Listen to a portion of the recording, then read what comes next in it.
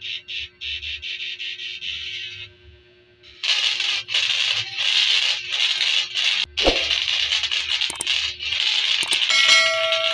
Ayan, magandang umaga sa ating mga kailik. Ah, isa namang panibagong vlog namin ngayon. At ngayon mga kailik, wala kami eksena ngayon kasi araw-araw na dito umuulan. Ayan o.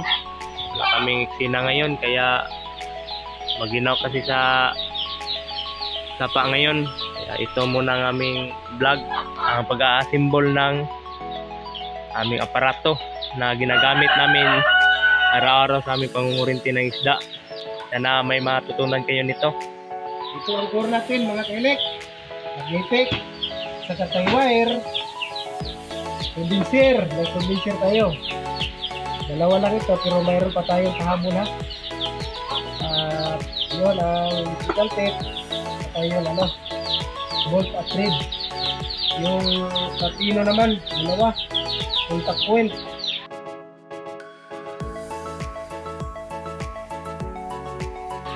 Yan ang kabuhan ng ating kuwan. Ito. At isahan na natin. Basic ka... Ano? Alam nyo mga kailik, sabi nila ang ang sa kanila ang ibang ginagamit nila ang spoke ng rayos ng motor. Yan ang kadalasan sa iba nga makikita namin. Pero dito sa aming bayan, mas the best talaga pag ang gamitin mo ang tie wire. Kasi napakapino ng kanyang kuryente at malakas. Unlike sa spoke ng motor. Ah, Yan nagsasalita mga kailik. Wala yang experience. experience. Pero totoo yung sinasabi niya. Dahil yun ang ginagamit ko kadalasan sa wire. Dahil noon nag- nagamit ako ng spoke ay hindi katulad nitong tie wire at yung steel naman itong bakal sulit ang ginagamit ko walang ano ah ginawa kong core pero Yung parang shafting mga kailik. Oo. Iba pala sa ano, dito tie wire. Magandang tie wire dahil ah uh, talaga sa pamumuli ng isda. Ang labasan ng kuryente ay buo talaga. Kaya ito ang core mga kailik ha. Kailik, ang dami nito ay pieces lahat ito. Ay ating bubuuhin na. Yan, umpisa natin ang paggawa mga kailik. Yan mga kailik. Gawa natin ito mga kailik para ma-press natin yung core. At iba rin naman natin yan. Ano? Yan ang final. Yun ang final mga kailik.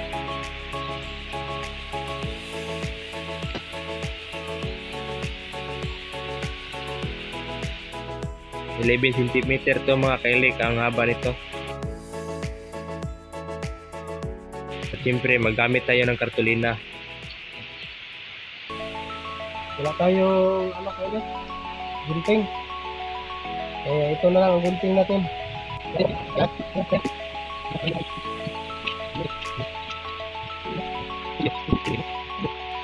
Yan mga kailik, kartulina yan mga kailik. At marapot Painitan naman natin ng electrical tape. Okay, tapos lang core natin.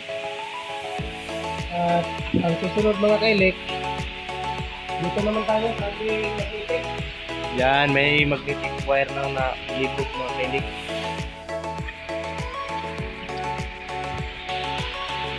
Ah, ito mga kailik, ang kartulina ay pambalot ito mamaya sa magnetic wire. Isahan na natin ang paggawa ng core, uh, kuryente. Isahan na natin ang ano, paglambod-lambod nito. Yan, mga kailik. Simple lang mga kailik. Ang iba ay maraming ikot-ikot. Ay, ito nga namin. Madali ra. Oh, yan oh, bilogkos lang yan. Bilogkos lang yan. Wala lang ano-ano yan. Nakita mo? Yan. O, dali ra yan. Ito ang ating magnetic ay 18 ito. 18 ito. Ay 18. Ang ating ginagawa. Pang ilang turn yan, Alex? 5-7. Ito 57. ang primary natin na ikot. Unang ikot yan mga kailik. What? 57 turn. Yan mga kailik, binalot ng electrical tape. 57 turn yun kanina mga kailik. At yan. At may lagyan ng kartulina na naman.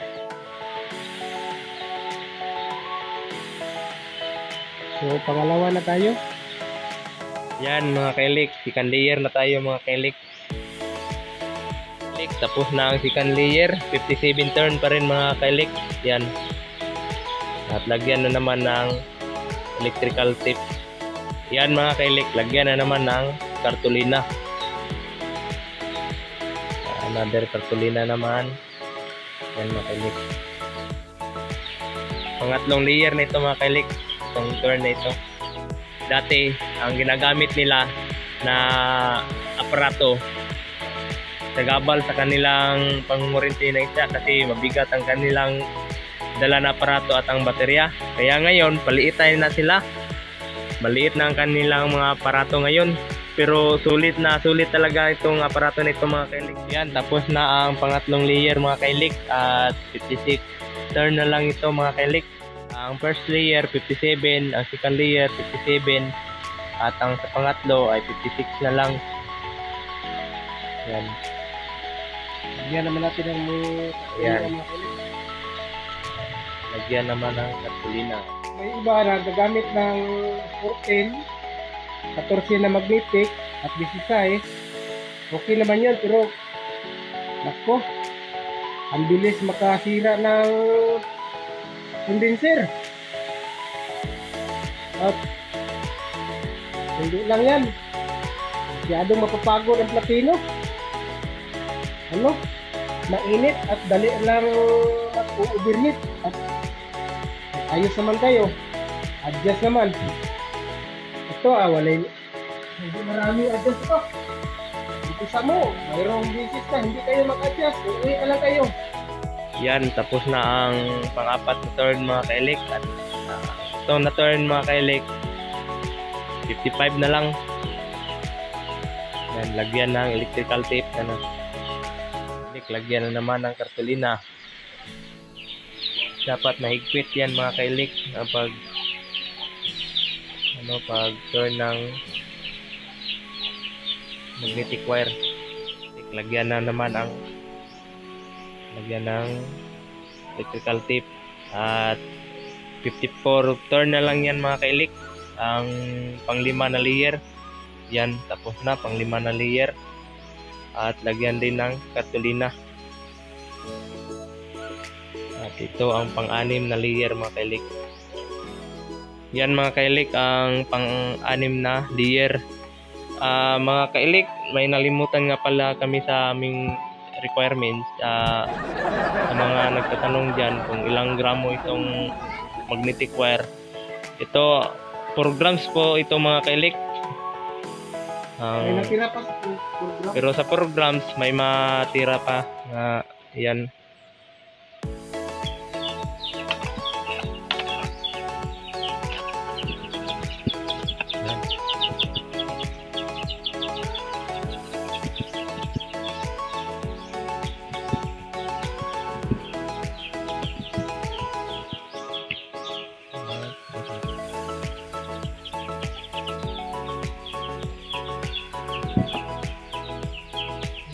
Lang ito mga kailik. Yan, gawa naman tayo ng housing niya mga kailik. Marami itong sikat-sikat. Yan, Kasi marunong ito. yan mga kailik. Ito ang sa ibabaw na core. Ito naman ang sa ilalim.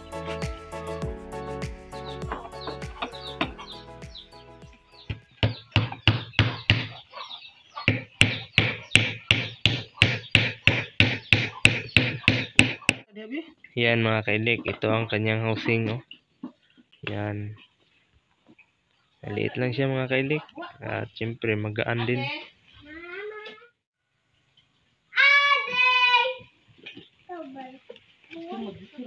Ah, sige tayo.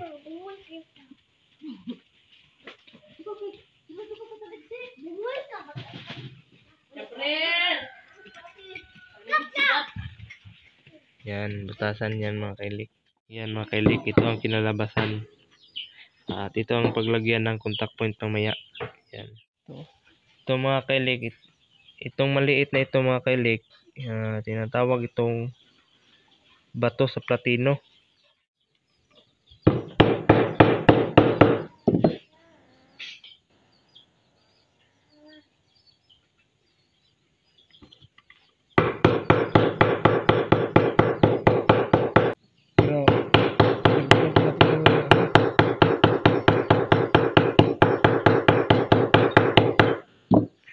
Dapat mga kailik, nakapress yan.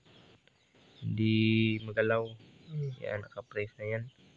Dagdagan pa natin baka ano. At yung pangilalim naman mga kailik oh. At ito, lagyan din ng ah mga kailik, ito pa ay kutsara po namin. Ah, sinasakripisyo na lang namin para gawing contact point. Yan, itong pangalawang contact point mga kailik. Sa ilalim, pang ilalim na contact point. Ano ano ng ano. Yan.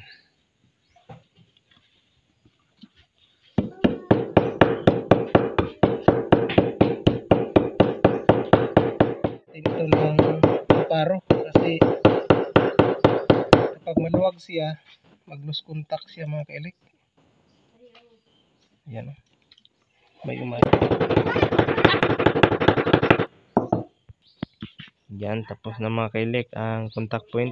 Nilagyan ng Ito ang bato sa platino. Siyempre, ating ano ito? I-plaster natin ito mga kailik dahil parang maganda namang tingnan. Ate, tagay si ate Huti, ate Huti. Mahalang nga pagsulaan. Naku. Dito siguro tayo na lang, hindi ito na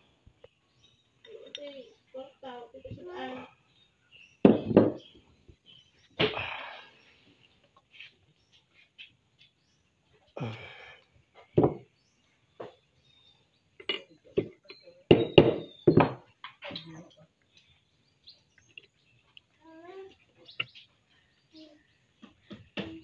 Yan, ganyan yan mga kailik.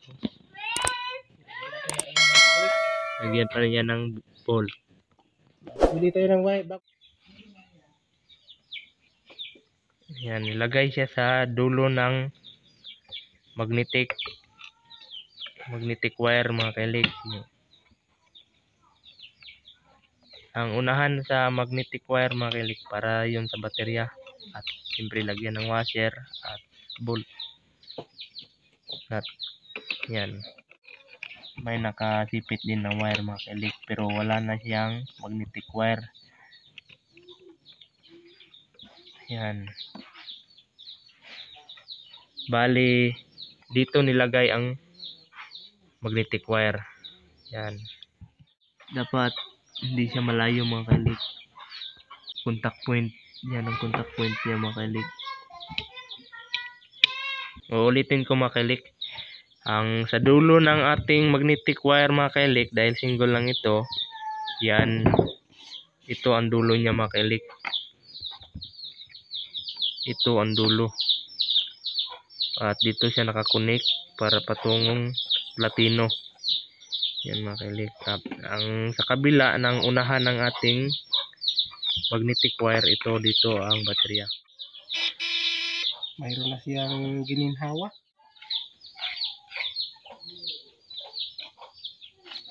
Kaya ang gawin natin ito. Ang kontra ng yan mga kailik ito ang finished product yan at lagyan niya ng wire Mayroon pa ba tangkon ka? Critical ka? oh na meron pa yan ito na ang kinalabasan mga kailik at ito namang dalawang ito, pinagsama din. At syempre, balutin din ito ng electrical tape. Ang magkasama, yan sila. Hindi naman yun ano. Naintindihan naman yun. At saka itong mga talinis na ito, oh, yan oh. Yung apat na yan. Yan. Ang apat pagkasama yan. Yung dalawa at saka yung apat. Huwag ninyong kalimutan. Na, ito ha, oh, ang dalawa oh. Yan mga Itong apat. Kahit dito niya idikit ito, okay. Kahit naman dito ay okay rin. Yan mga kilik oh. Di- Dito niya kinabit yung sa bawat poste na may wire na nakasipit. At ang sa kabila din may nakakuha na poste. Yan, lagyan ng wire. At dyan din. Ito ang ng kanyang kinalabasan mga kilik oh. Itong apat na wire na ito dito. Yeah. Tingnan natin ang kanyang busis. Yan. Sandali, sandali lang, sandali lang. At yung dalawa naman na wire na andito sa kabila, kahit na pagbalik ka rin mo yan mga kailik, pwede rin yan. Naku, ang ganda.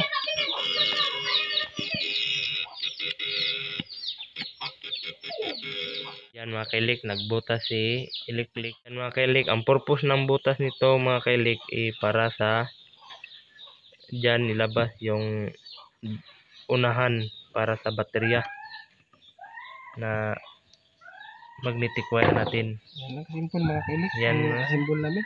Yan lang kasimple mga kailik oh. Wala nang maraming art-art dyan. Simple lang ang paggawa nito mga kailik. Di lang. Kahit tingnan ninyo Hindi natin, hindi na pahirapan ng mga sarili mga kailik. Yan oh.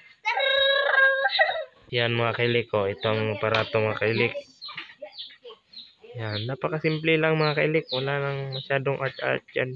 Ang importante makahuli tayo ng isda. Yan lang naman ang main goal natin mga kailik. Tapos na tayo sa ating aparato mga kailik. Tapos na tayo. Punta naman tayo sa paggawa ng rad.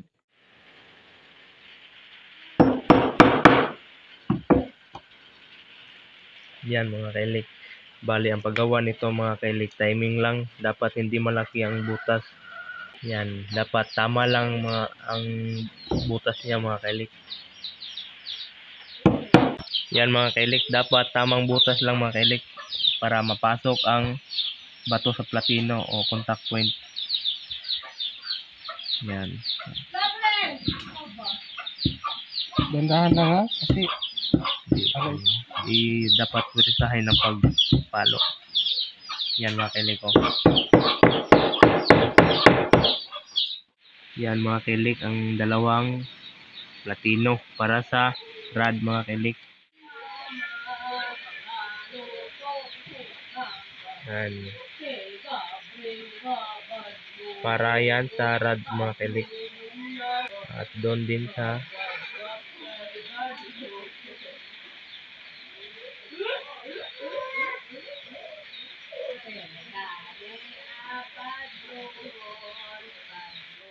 Yan mga kilik ko. Ito na ang dalawa. Nakaka siyempre lagyan din ito ng electrical tape mga kilik bawat isa. Kanila kanila. Ay. dito natin ilagay sa stainless mga kailik.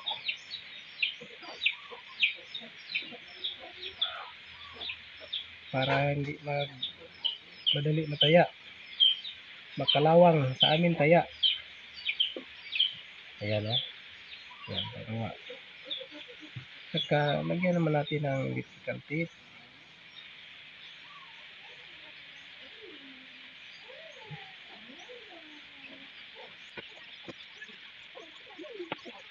Ayan na. Ano na lang ito? Yan mga ko. Ito may guma tayo nga kunti.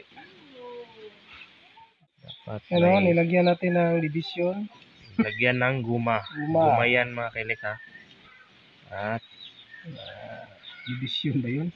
Hmm, division yun. Tatawag din yan ng division. Sila nang bahala na umitindi. Tindihin nyo lang ha, kasi mahirapan kayo ng Tagalog eh. Kailangan natin. Kailangan natin. Yan.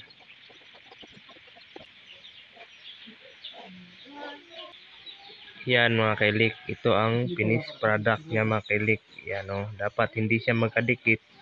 Ah, yan, ito na ang finished product. Yan. At may nakadivision ito, ito ay rubber. Yan. Naghanap kami ng tarpaulin mga kailik para sa paglagyan ng ating switch. Yan, balutin ang switch natin. Yan ang pambalot. Yan, talian din mga kailik.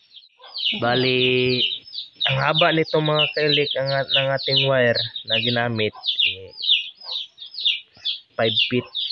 Yan, 5 feet. feet. Ang ating ginawa na switch kanina, dyan natin ilagay yan.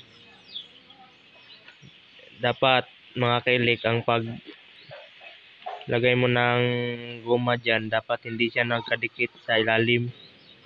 Tapos, ang yung black wire na ginawa natin, yung excess natin na black wire mga kailik, dyan natin ibulibod sa kanyang rad. Yan ang rad mga kailik. Huwag kalimutan. Para mag-ground siya dyan. Then, tayo, talian ng guma.